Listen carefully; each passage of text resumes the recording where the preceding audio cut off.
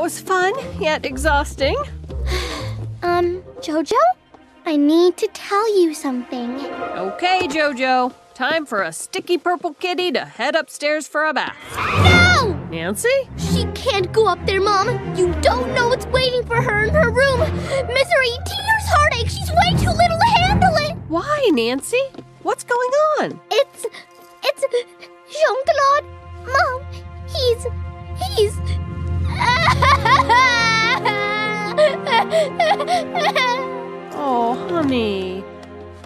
Mommy, Jean Claude died. Can I have a snack? But Jojo, you're not. How come you're not sad? I'm kind of sad. I'm hungry too. We all deal with losing someone we love differently, Nancy.